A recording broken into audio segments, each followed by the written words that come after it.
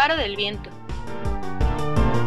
Bajo el formato de los proyectos culturales Fábrica de Artes y Oficios Faro, implementados en la Ciudad de México, cuya característica principal es el involucramiento de la sociedad en general y de la comunidad artística y cultural en particular para su operatividad y funcionamiento, el Faro del Viento de Catepec se construye por el gobierno municipal y se inaugura en el año 2009.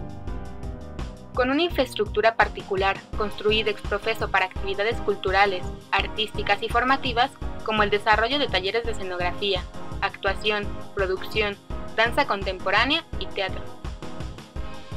Dicho inmueble contaba con un escenario innovador que permitía un aforo de 400 a 5.000 personas de acuerdo a las necesidades y a las actividades que se desarrollaran.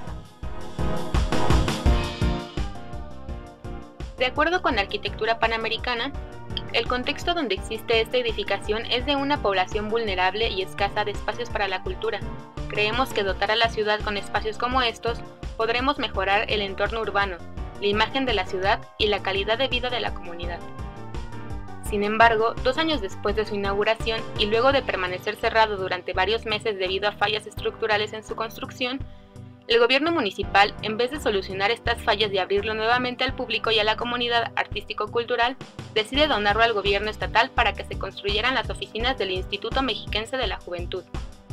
¿Qué espacios con estas características se han construido desde entonces para la comunidad artística y cultural del municipio?